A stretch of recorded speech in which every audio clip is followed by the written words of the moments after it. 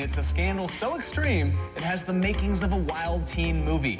What do you get when you combine a high school ski trip, a bar top striptease, and a video camera? The most sensational high school scandal of all time, that's what. This is Hector, a student in Burlington Township, New Jersey. Hector loves a good time so much that he actually joined his school ski team just for the ski trip party potential. I pretty much joined because of other people telling me about the past trips they went on. Ski trip included partiers. You can just go and drink and have a good time. I knew that in Canada, you only have to be 18 to drink, and that was it for me. The team's annual trip to Canada was legendary. Although chaperoned and drinking forbidden, the students had figured out how to sneak out and hit up the bars. A surefire way to find themselves in scandal territory. After like 6 o'clock, you're basically a free kid for them couple hours. It was almost as if the school had kind of just turned the other cheek. When the clock struck 6, the skiers prepared to roll out to the bars for a wild night. And Hector brought along the single instigator of many a big-time scandal, a video camera. A lot of people were drinking, and it was pretty wild in there. After hours of hard partying, things took a torrid turn that no onlooker would ever forget. This girl that I go to school with hopped up on the bar and she just started dancing. Then two other girls had hopped on and continued to do the same thing. My buddies tapped me on the shoulder and, you know, pointed at the bar top and was like, you know, look at those girls over there. That's when I pointed my camera towards the stage.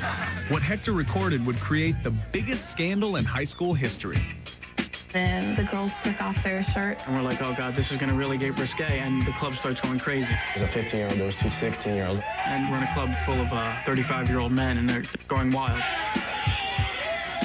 Some people in shock, like, I can't believe these girls from my school are doing this. So the guys were cheering. The whole bar went crazy.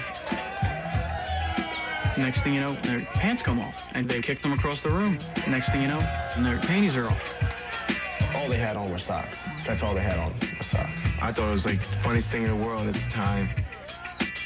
The Girls Gone Wild finally ended their nude revue. And with the show complete, the tipsy teens stumbled back to their hotel. Everybody was like, I can't believe this happened. That's crazy. It's like a Jerry Springer thing. The students finished their ski trip and traveled back across the border to finally return home. But when they got back to school, the ski trip stripping story became the hall's hottest gossip. First, you just started hearing uh, there was girls stripping, and you, then you wanted to know who it was. The three girls who had stripped, they weren't exactly like the shy little girl that you would see in school. They were bragging about it. It was like, oh, look what I did. I got up on a bar at Quebec. Everybody in the high school knew that there was a videotape. As word spread like wildfire, the principal got wind of the eye-popping exploit, and the ski trip strippers were the first to be summoned down to the office. One of the girls had let the principal know that there was a tape. I was just like, what a dumbass. Wanting to get to the bottom of this appalling incident immediately, the principal and vice principal paid Hector a surprise visit at home. They demanded to see the infamous tape, and with no other option, Hector played the incriminating evidence with his school's top officials at his side. And as the tape's playing, it goes to the girls stripping, and they're like, oh my God, the vice principal's just got her head down, you know, she's just like, and the principal's just like, well, that's enough. While the principal pondered their punishment, outrage spread beyond campus, and the scandal soon became a nationwide sensation. It was in the newspapers. Some people said they heard about it on Howard Stern and other radio stations. The New Jersey Department of Youth and Family Services investigated the school district. It was just crazy. And when the punishments were handed down, it definitely wasn't pretty.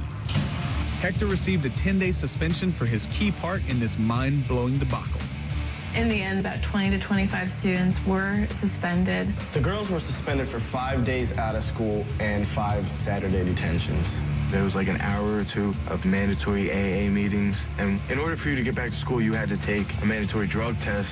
It was one big sticky situation. School, and especially the annual ski trip would never be the same. It was one night of videotaped debauchery that indisputably earned the title of the most sensational high school scandal of all time. People still come up to me and ask me if I have the tape. It's over three years now, and I'm still known as the kid with the camera.